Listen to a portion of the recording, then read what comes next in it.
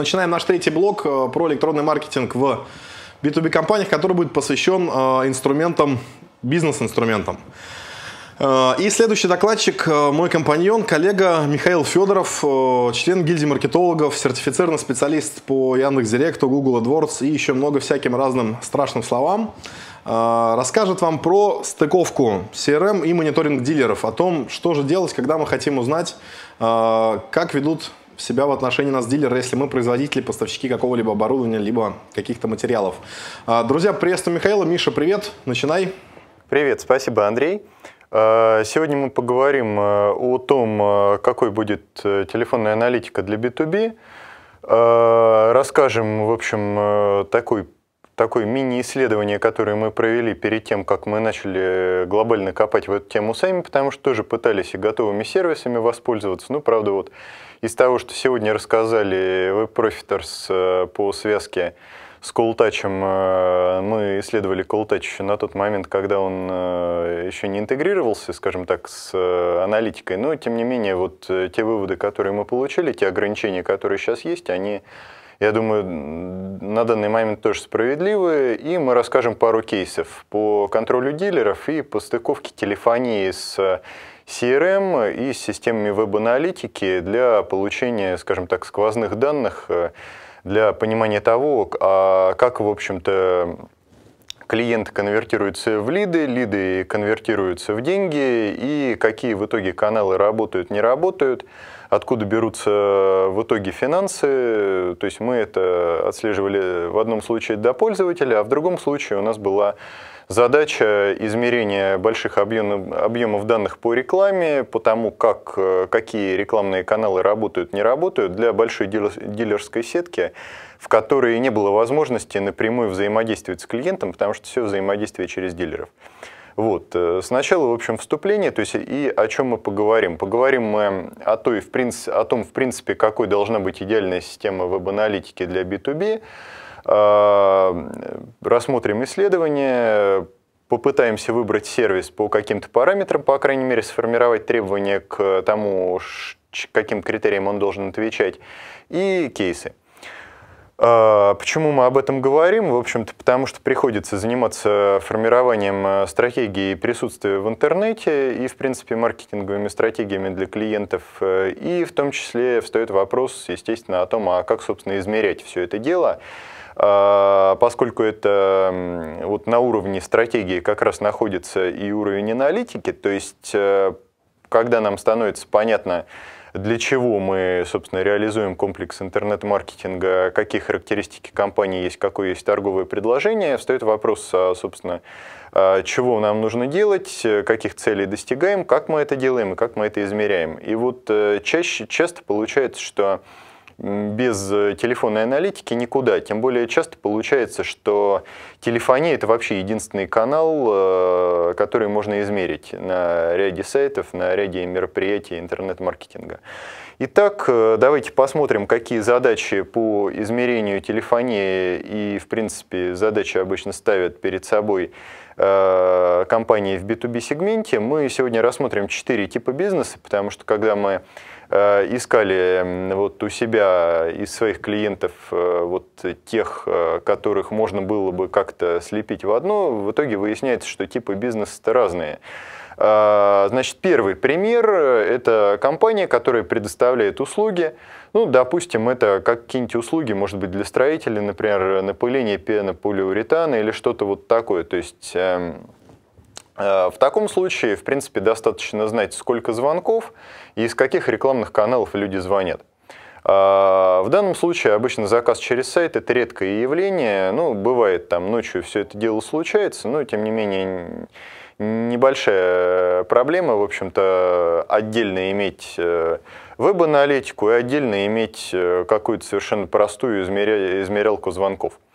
Идем дальше. Значит, если у нас какой-то интернет-магазин товаров для B2B, там офисные какие-то принадлежности, все что угодно – а, получается уже более сложная система, и, как правило, владелец бизнеса или там, управляющий, или там, коммерческий директор, тот, кто занимается, в общем-то, выделением средств на рекламу и анализом ее эффективности, хочет уже знать, сколько было звонков, с какого объявления, сколько продаж по этим звонкам.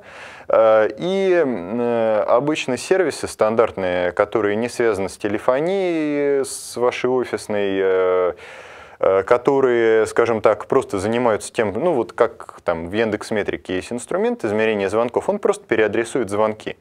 А, возникает ряд проблем. То есть, например, если у вас два одновременных звонка в компанию, и все это приходит к вам на какую-то там аналоговую АТС, а, например, есть такая проблема, что АТС по факту не знает, а какой из звонков куда переключился. То есть для АТС это просто банально обрыв э, линии связи с первым абонентом, и потом какая-то другая линия, на которую переводится, ее подхватывает. То есть э, связь можно наладить, там, не знаю, например, э, попыткой понять, а в какое время было переключение, выставлением каких-то интервалов, но по факту, например, аналоговая АТС какая-то или какая-то вот там какой-нибудь Panasonic, стандартный офисный, он этого не знает.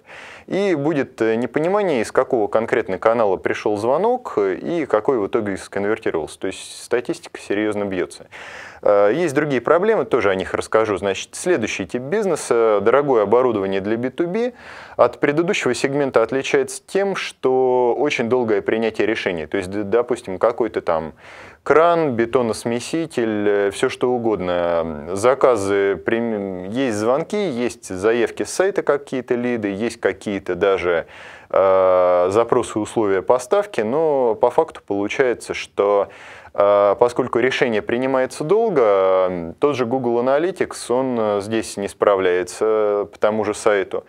По телефонии тоже бывают проблемы, потому что, допустим, есть, как, есть подмена телефонов, вроде как есть подмена источников, но куки на такое время, которое принимаются решения для того, чтобы человеку тот же номер показать, уже они, они уже, столь, как правило, на такое время не выставляются. Более того, есть сразу появляется довольно серьезное ограничение по выбору системы, которая у вас будет это все анализировать а, и так далее. Значит, э, то, что хочет знать директор, как правило, еще шире. Это история звонков, что клиент делал до и после, сколько раз он заходил на сайт, а, связку с CRM, как правило, они хотят, чтобы ввести этих клиентов. То есть, допустим, классная возможность появляется такая, что если мы видим, что этот клиент эм, заходил на сайт, то мы, ну, допустим, там через три месяца после первого, первого общения с ним, после первого контакта с ним, это говорит о том, что, ну, наверное, менеджеру,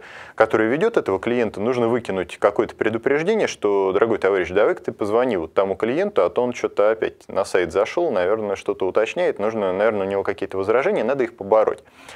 И, в общем-то, то, как маршрутизируются звонки по менеджерам, э, возможно, эффективность менеджеров – продающие способности, понимание того, допустим, а с какого рекламного канала, на какого менеджера лучше, опять-таки, переводить звонок, тоже вот обычно, если а, большой объем данных, обычно над этим тоже заморачиваются, чтобы повышать эффективность. То есть в итоге вы получаете воронку как э, снаружи компании, так и внутри компании в таком случае.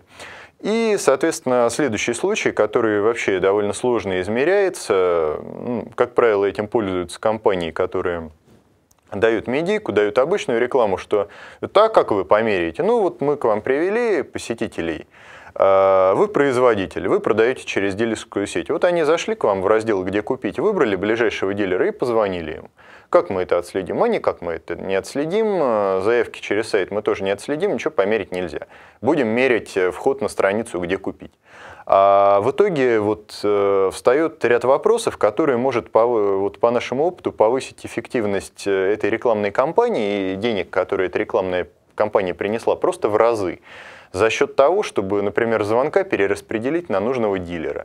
Или сразу человеку выдать того дилера, у которого это, например, техника или оборудование, или какие-то стройматериалы вот, э, есть в наличии. Э, или, например, перераспределять звонки, э, стараться тем дилерам, которые лучше на них отвечают, у которых лучше коэффициент конверсии звонка в заказ.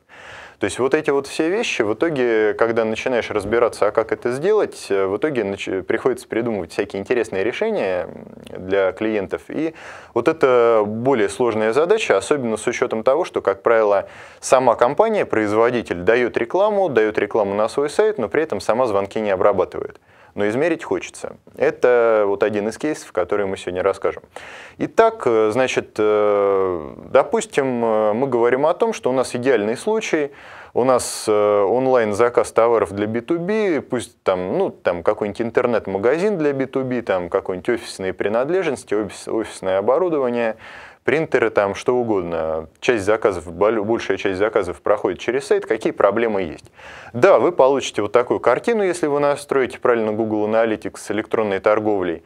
Что вы не получите? Вы не получите, во-первых, э, многоканальность. То есть человек мог взаимодействовать с сайтом много раз, более того, сначала мог инициатором выступить какой-то там человек из тех отдела, там какой-нибудь системный администратор, потом, допустим, там директор одобрил, тоже пошел в интернет что-то искать.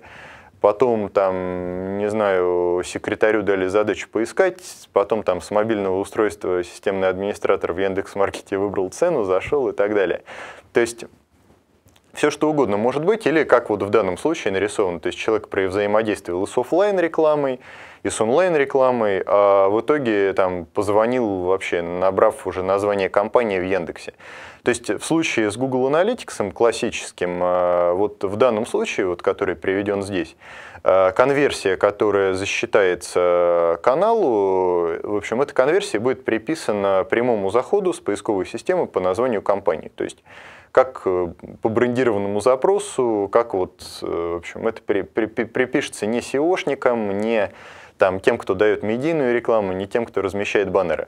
А по факту сработала целая цепочка э, привлечения, вовлечения конвертации клиента. Может быть, даже клиент несколько раз звонил в компанию и взаимодействовал с ней. То есть как посчитать, какому каналу что приписать. Вот это вы абсолютно точно со стандартным Google Analytics потеряете несмотря даже на то, что там есть возможность настроить многоканальные последовательности, а, например, телефонию сюда вписать и связать, что, вот, например, вот этот человек, это тот же человек, который звонил вот вам тогда по телефону, а, стандартный Google Analytics сделать не дает, это можно сделать только в Universal. Ну, в общем, расскажем, как мы с этим работали.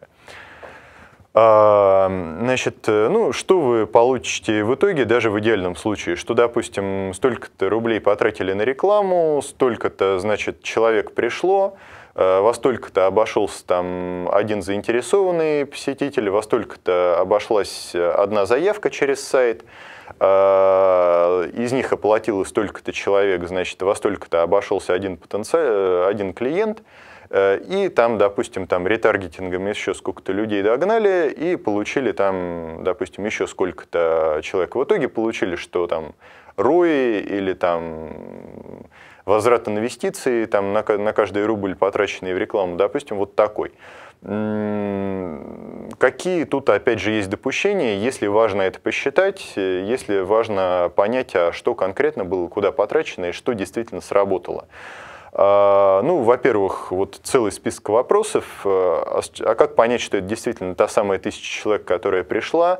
А если заказ, э, там, допустим, произошел не через сайт, человек положил что-то в корзину, а потом позвонил по телефону, или приехал в офлайн магазин а что, если человек заходил с разных устройств, а что, если а, вы, допустим, подмену номера используете, то человек, допустим, зашел, записал этот номер, а позвонил, допустим, через три дня.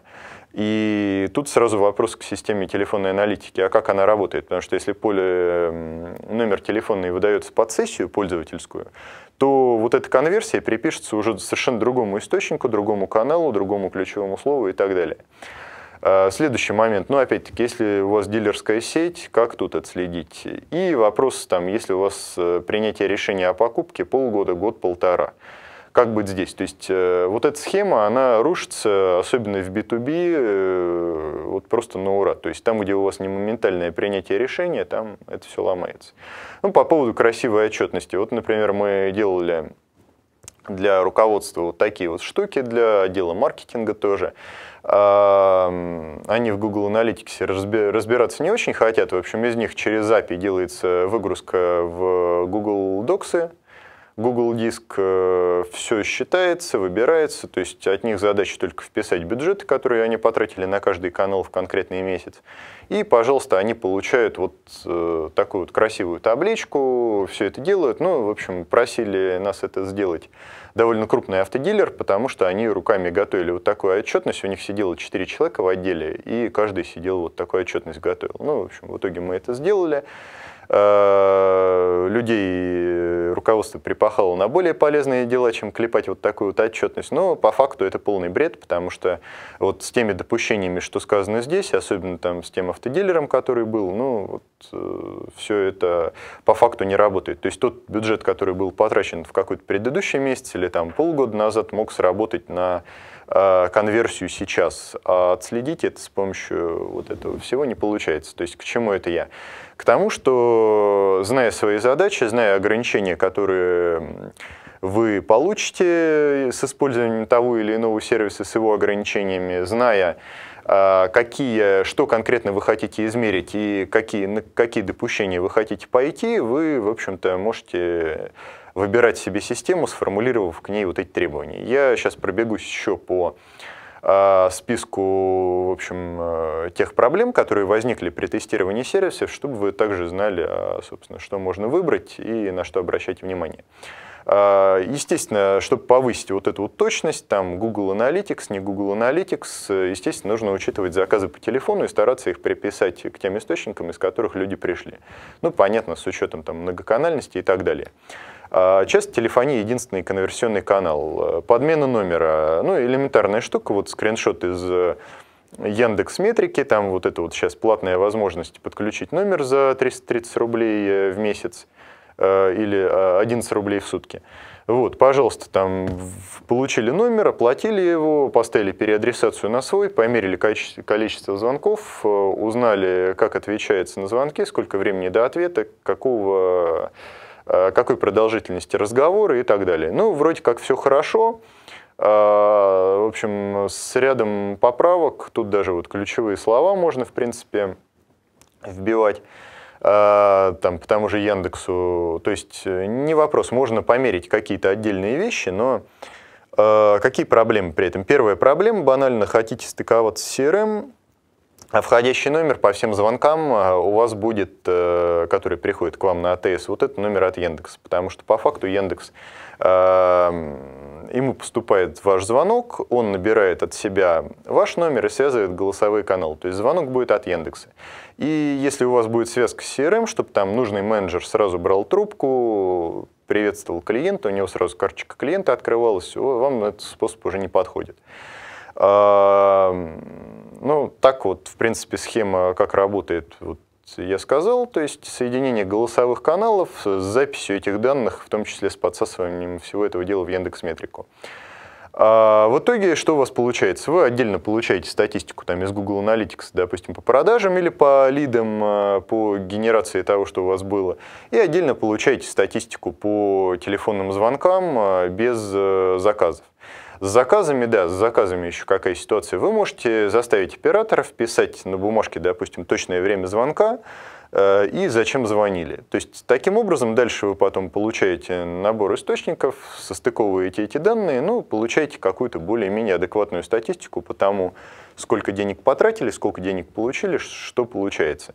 А минусы, понятно, что точность довольно низкая, что номер определить не можете, перезвонить клиенту можете, но нужно будет в статистике Яндекс Метрики выискивать, а какой же номер звонить, пытаться, значит, ему перезвонить.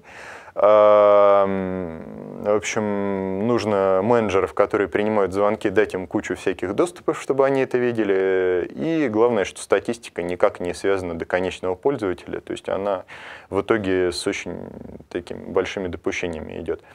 А, если пойти дальше, если пойти от считалки до звонков, до какого-то интеллектуального сервиса, который связан с веб-аналитикой полноценным способом, чтобы можно было отследить по персоне уже всю эту ситуацию, чтобы можно было звонки, допустим, э, записи разговоров крепить в карточку клиента автоматически, чтобы туда же подтягивались там e-mail, запросы с сайта, все что угодно, его взаимодействие с сайтом, то есть дойти до полной персонификации и э, построить работу с клиентом таким образом, чтобы вот эта вот персонификация помогала в итоге вам продавать и взаимодействовать с клиентом тогда, когда ему нужно. То есть зашел он на сайт, там что-то уточнил, вышел, ага, менеджер увидел, что так, два месяца прошло, по идее срок принятия решения там от полугода до года, но вот через три месяца он борется с возражениями. Надо позвонить и напомнить себе.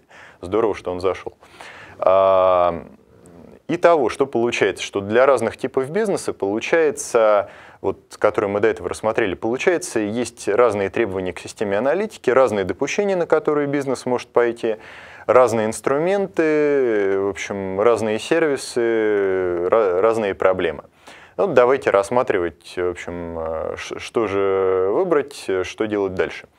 А, дегустация систем э, телефонной аналитики, которую мы провели, тоже расскажу о тех допущениях, которые вот мы нашли. А, аренда номеров. А, самый частый способ, э, когда вы не хотите покупать себе в собственность там, 50-60 номеров, но хотите измерить, допустим, по каким ключевым словам звонят или там по каким объявлениям, или какие сегменты пользователей. Вот. То есть э, тут разделение идет по сегментам, что вы в сегмент выделите, то, и, то вы измерите вот, звонками на этот номер. Ну и, соответственно, на сайт ставятся скрипты различные, в рекламные источники, в баннеры, в наружку, куда угодно. Вот подставляются нужные номера. Ну, в случае аренды, конечно, это не всегда... Аренда номеров, как правило, нужна для того, чтобы взять большой пул номеров, допустим, 50 штук, и измерить, допустим, весь ваш список ключевых слов, по которым э, эта реклама идет, чтобы выделить уже только то, что нужно, и давать уже рекламу только по тому, что нормально конвертируется. Естественно, все эти номера не принадлежат вам. Есть всякие сервисы, которые динамически выдают этот список номеров под разных клиентов. В итоге, э, а, и номера даются под пользовательскую сессию. То есть э, клиент пришел, вот у него там полчаса сессии или там среднее время его нахождения на сайте, вот за это время ему присваивается вот этот телефон. Как только он вышел с сайта, этот номер уже уходит обратно в пул и присваивается другому пользователю. А, ну, проблемы с этим понятно, что если клиент записал номер, он может попасть вообще в другую компанию.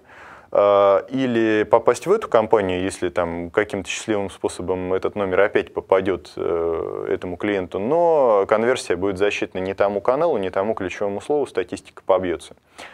А, и смена тематики номера – большой риск для репутации. Когда ты звонишь сегодня за, допустим, там, записал, что вот такой номер, тут кондиционеры, все хорошо – Звонишь туда, а там магазин какого-то шматья непонятного. И, значит, у тебя сразу уже думаешь, что это за такая шарашка, куда я звоню, почему там, что она закрылась уже, что ли, пока я тут два дня думал, где мне окна купить. То есть сразу негатив э, клиента, и будет ли он дальше выискивать этот номер, ну, скорее всего, он подумает, что вот сломается у меня что-нибудь в этом, там, допустим, продукте, который я купил, куда я вот номер записал, перезвоню, а там уже другая компания. Ну их нафиг, я лучше где-нибудь в другом месте закажу. В итоге вот с арендой номеров это дело можно использовать только там краткосрочно, когда вы хотите протестировать какой-то там набор рекламных каналов с разными таргетингами, с разными креативами. То есть протестировать, посмотреть это все. Ну, то есть в качестве такого АБ-тестирования телефонного каких-то, может быть, лендинг-пейджи хотите протестировать, с каких лучше звонят, еще с каких каналов, может быть там сырой трафик, не сырой трафик, баннерная реклама, не баннерная реклама, сформированный спрос или там какие-то еще запросы. То есть это все, на наш взгляд, исключительно для тестирования. Оно получается довольно недорого, но вот рассматривать это как такой канал, который вы постоянно будете использовать для измерения, вы можете получить э, негатив в адрес своей компании. Допустим, вы купили номера, говорите, все, теперь у меня свои номера есть, я буду все измерять, у меня звонки никуда не уйдут, риска репутации не будет. А, сразу, значит, э, приведем пример одного из сервисов э, такого, ну, скорее, сводный такой вот э, набор возможностей, который предоставляет классический сервис массовый, который позволяет работать со своими номерами. Это детализация звонков до уровня сегмента, допустим, там сегмент по э, бульдозерам вы выделили э, в одно направление и повесили туда один телефон, сегмент по там, не знаю, кранам в другой сегмент, это если по ключевым словам. Если вы по рекламным каналам, то у вас сегмент — это рекламный канал. То есть, естественно, сегмент нельзя выбирать так, чтобы мешать там, не знаю, бульдозеры с э, сервис, сервисным обслуживанием каких-нибудь кранов, то есть это будет уже не сегмент, а и, и только из контекстной рекламы и прямых заходов. Это будет какая-то каша непонятная, то есть обязательно сегмент должен соответствовать тому, что вы хотите измерить. А, далее, значит, данные об источниках, э, то есть э, в случае, если сегмент, э, сегменты делятся по источникам, то это вот источник того, откуда пришел человек. Дальше. Данные по, по тому, откуда пришел человек, если заявка с сайта, допустим, она может прийти в CRM, и телефонный номер, который человек там укажет, по нему дальше вот, вот эта заявка когда человек будет звонить с этого номера на вашу телефонию, если CRM завязан с телефонией, в общем, менеджеру будет открываться карточка клиента, что, что он уже хотел, чтобы его по 10 раз не переспрашивать и эм, в общем, не раздражать человека, а уже общаться с ним как, как, как если бы с ним общались. Э, дальше еще такой момент есть, если человек звонил в компанию, чтобы трубку брал тот же менеджер, который э, уже с ним общался. Это тоже с помощью CRM и телефонии можно сделать. Дальше, значит, какие проблемы? Нет многоканальности, то есть э, взаимодействие будет только последнее. Если человек сначала пришел из контекстной рекламы, потом пришел с прямого захода на сайт, потом зашел вообще с какого-то медийного, объяв... медийного объявления или там с YouTube, а у вас запишется в конверсию последний канал. То есть то вот, э, откуда он позвонил, то и запишется. Это, в общем, довольно плохо, то есть всю цепочку вы не позвоните. Дальше, значит, обратной связи конкретного звонящего с CRM, э, ну, обычно ее нету, потому что такие сервисы, как правило, не раб работают не а, соединением с вашей IP-телефонной станцией, а все-таки переадресацией звонков с вот этих номеров, которые сервис будет подставлять на ваш какой-то номер классический, один многоканальный, который у вас есть. Ну и, в общем-то, информация довольно разрозненная получается, опять-таки, потому что Потому что, опять-таки, все это не до конца связано, и вот в трактовании этих данных могут быть такие вот проблемы, что не всегда понятно, что конкретно сработало. А если мы используем, значит, э, классически, если мы используем номера из личного пула плюс IP, ATS плюс CRM, а, тут уже все значительно лучше. При этом может использоваться какой-то сервис для подстановки этих номеров. Опять-таки, ну, вроде как все хорошо, а, проблема получается такая, что а, данные никак э, не привязаны, допустим, к классической системе аналитики. В общем, э, дальше проблема, когда вы хотите посчитать деньги, Здесь опять-таки появляется тоже куча допущений, и вам нужно уже связываться с учетной системой. То есть ваша CRM, телефония должна Э, должен быть продуман алгоритм связки с э, системой. А, я тогда перехожу, у нас остается 5 минут, я перехожу к слайдам. Значит, э, суть какая? Что нужна персонализированная аналитика, которая отслеживает у вас пользователя прямо по персоне которая может собирать все... Вам нужна CRM, которая позволит собирать эти все данные вместе с карточкой клиента. И вам нужна, нужен, э, нужна система аналитики, которая позволяет, то есть у вас нужно либо на стороне CRM хранить все данные о клиенте, о его веб-взаимодействиях, о его офлайн взаимодействиях о его звонках, об отправке почты этому клиенту, либо вы это сохраните на стороне системы аналитики. Есть разные варианты.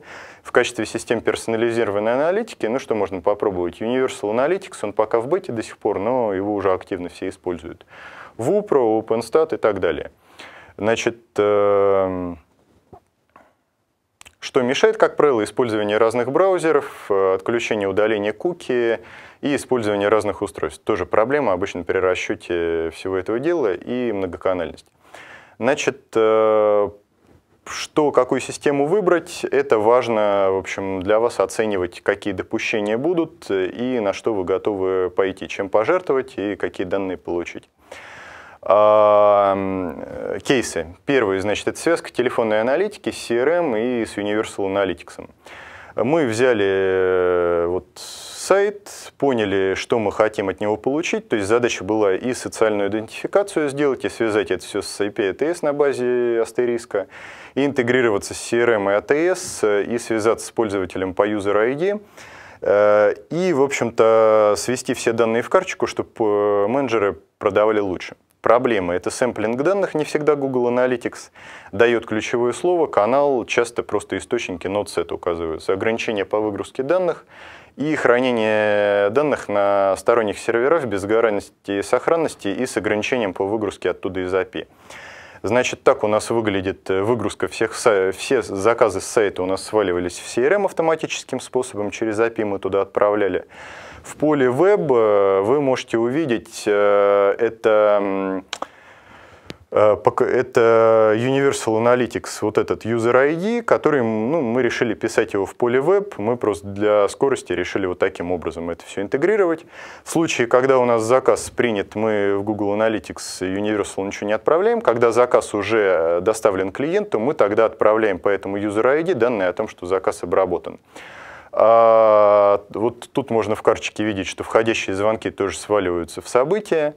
Все эти звонки крепятся к карточкам. Вот есть карточка клиента, я тут замазал персональные данные. В общем, видно, что входящие звонки поступают, их можно прослушать. Все взаимодействия с электронной почтой и так далее, они тоже сюда пишутся.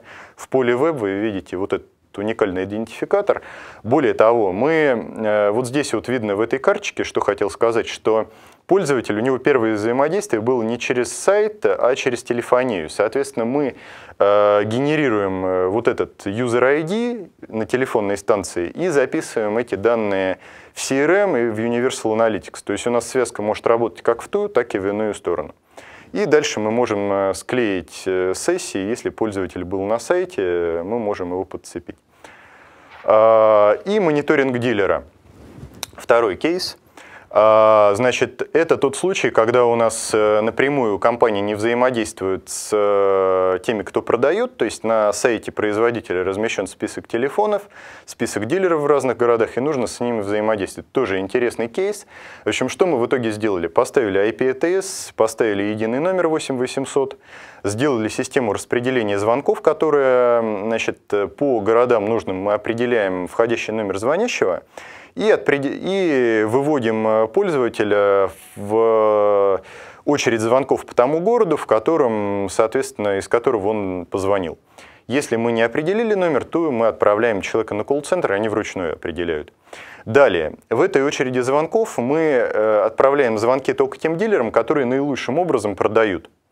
А, как мы это определяем? У нас вот есть такая табличка и есть отдел контроля качества, который выставляет оценки дилерам по знанию продуктов, по тому, какое количество вебинаров они прошли на нашем сайте, сдали ли они тестирование, плюс качество обработки звонков, это продающие способности а, продажника, то есть продали ли они нужный продукт, побороли ли они возражения клиентов э, и объем звонков, э, которые они могут принять, у нас есть приоритеты по этому. В итоге, значит, э, у нас есть возможность распределять звонки только тем дилерам, которые наилучшим образом ответят в данный момент на этот звонок. Исходя из там, их дневного лимита, исходя из качества приема звонков, исходя из того, насколько вообще этот дилер нам важен, то есть э, сколько денег он нам генерирует.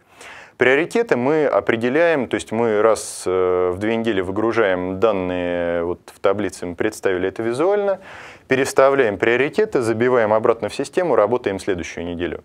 Звонки делаются, значит, вся система работает так. Мы отдельно по Москве и крупным городам проводим тесты по ключевым словам и так далее, э, по страницам, по лендингам, а уже все вот эти данные мы сводим дальше в систему аналитики. То есть мы сводим и звонки с сайта, и звонки, собственно, заявки с сайта, и, в общем-то, дальше мы это все, все, все эти данные хранятся у нас в персонализированной системе аналитики. Дальше мы их выгружаем, принимаем решение, вносим а, изменения на сайт, меняем дилеров местами, чтобы выводить пользователю именно тех, кто наилучшим образом продаст. И в телефонии меняем приоритеты для того, чтобы э, человек позвонил именно тому дилеру, с единого номера звонок перевелся тому дилеру, который наилучшим образом продаст. В итоге, значит, очень хорошо все это работает. По повысили эффективность рекламы, отсекли ненужные каналы и так далее. Я буду рад ответить на вопросы. Э, следите за нами, добавляйтесь в Facebook. Э, можно мне лично писать в Facebook. Тоже отвечу на ваши вопросы, если у вас такие будут. Спасибо. Да, Миш, а, огромное спасибо тебе за доклад. Как всегда, интересно, структурировано, а, много интересных а, моментов и технических нюансов. Смотри, вопросы к тебе есть. Вопрос от Марины, даже сразу два. Ну, будем по очереди тебя, тебя ими мучить. Михаил, а как быть, если стоит задача постоянного анализа качества телефонного обслуживания дилерской сети? Прослушать разговоры каждого дилера очень дорого. Есть ли способ автоматизации, типа речевого анализатора? Ну или каким образом организовать этот процесс? Э, Мария, интересный вопрос. Мы сталкивались с этим делом. Вот у нас сейчас две компании на таких вот системах сидят с э, мониторингом дилеров, и сейчас мы еще будем подключать. Э, вы знаете, ну, да, даже честно скажу, что система автоматического распределения звонков, она, например, для крупных городов не очень хорошо отрабатывает, потому что, допустим, в той же Москве человек хочет купить в той точке, которая ближе к нему. Мы-то его определяем там, по тому же телефону, что это Москва, но вот какого дилера ему подсунуть, вот это уже вопрос, как правило, мы его решаем уже через колл-центр. Э, что касается прослушивания вот именно качества обслуживания, ну, знаете, вот во-первых, есть всякие косвенные показатели, то есть это объем продаж дилера, объем звонков ему, то есть уже вы можете рассчитать, сколько денег, грубо говоря, вы потратили на этого дилера – чтобы сгенерить ему вот этот поток звонков, и сколько, сколько денег он вам принес. Это косвенные показатели. Что касается прослушивания и так далее, постоянно каждый звонок – это действительно очень дорого, и смысла в этом нету. То есть у нас э, операторы, во-первых, э, обычно прослушивают тех дилеров, которые вызывают сомнения в качестве обслуживания. То есть, допустим, мы им нагнали 20 звонков, а коэффициент э, там, э, ну, когда мы делим объем принесенных денег на количество перегнанных им звонков и заказов, мы смотрим, что там один звонок нам приносит, допустим, там 5 тысяч рублей, а топовый дилер приносит там 20 тысяч рублей.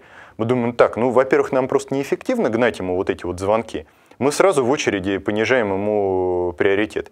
А второй момент, мы начинаем его прослушивать. А почему так происходит? Может быть, его вообще из очереди надо выкинуть? Начинаем слушать, а оказывается, что он продает другую продукцию.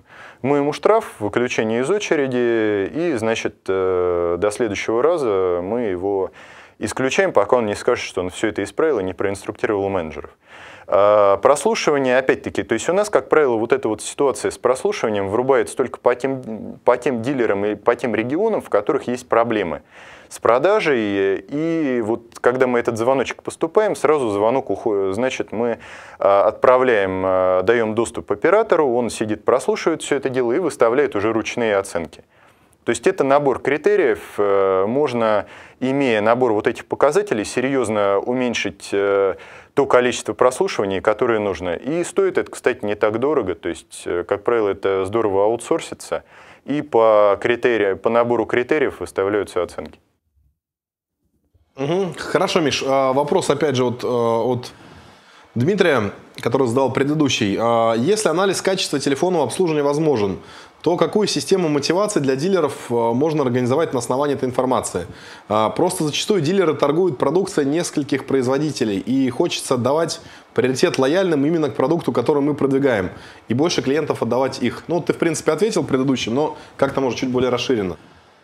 Э, по лояльности, ну вот э, как у нас эти системы, по крайней мере, планируют внедряться, то есть вот сейчас еще у нас э, в процессе отладки вот некоторые моменты, ну вот из того, что было запланировано, это лояльность это, в общем, ну, чем больше они лояльны и чем больше они продают нашу продукцию, и чем выше у них, грубо говоря, количество принесенных денег производителю на каждый телефонный звонок, тем больше звонков они получают. Это первый момент. Второй момент. Чем они лучше продают, чем больше вебинаров э, наших по продажам они прослушали, и чем э, больше они предлагают продукцию нашей компании, тем выше балл, вот уже который вручную оператором выставляется, и тем, опять же, больше звонков они получают. То есть, грубо говоря, чем, чем они лояльнее к производителю, тем больше звонков они получат, и тем больше денег в итоге останется в их компании, то есть тем выгоднее всем. То есть э, вот эта вот э, мотивация, она строится у нас исключительно вот на том, чтобы э, в общем, мотивировать деньгами, мотивировать, чем больше лояльности, тем больше денег. Угу. Хорошо, Миш. А, вопрос следующий от Александра. Михаил, а, какие IP-ATS имеет смысл рассматривать для интеграции с CRM, а, чтобы было проще налаживать аналитику? Честно говоря, ну, принципиально, наверное, особо разницы нет какие. То есть э, важно, чтобы, значит, есть облачные сервисы, которые можно вполне использовать, которые прекрасно работают, даже часто Э, и по качеству связи, и по уровню обслуживания это значительно лучше, чем, э, там, допустим, АТС, которая стоит в офисе, банально потому, что она на 100 мегабитах стоит где-нибудь в дата-центре, и она у вас не ляжет, когда у вас, допустим, э, кто-нибудь там сел что-то качать в офисе, серьезное. А, использовали АТС на базе астериска в основном, использовали, значит, ну, поскольку просто куча партнеров, которые ним занимаются, с ним есть проблемы, но все это работает. Использовали, значит, э, какие-то цисковские, я могу уточнить, э, там, АТС, использовали облачные сервисы. С облачными сервисами, как правило, э, удобно, если вы хотите прям быстро, то есть тут, тут вопрос в чем стоит. Если вы хотите сделать все это у себя, если вы хотите там плотно связаться, иметь кучу всяких настроек дополнительных, в АТС всякие данные передавать, локально все это иметь и хранить все данные у себя, в таком случае имеет взять там астериск, например, и локальную CRM поставить. Если вы хотите там стартануть быстро, берете облачный сервис с ATS, берете облачную CRM, вот мы, например, AMA CRM взяли, кстати, э, если кому-то интересно будет, под промокодом комплета можно получить скидку 10% на эту AMA CRM, их партнера. Вот, значит, э, мы использовали вот эту АТС, то есть банально там за 3 минуты прописывания конфигурационных данных у нас уже они по умолчанию интегрированы, э, карточки клиента открываются, то есть есть, конечно, всякие проблемы, но тем не менее все это работает. Я надеюсь, я ответил на вопрос. Thank you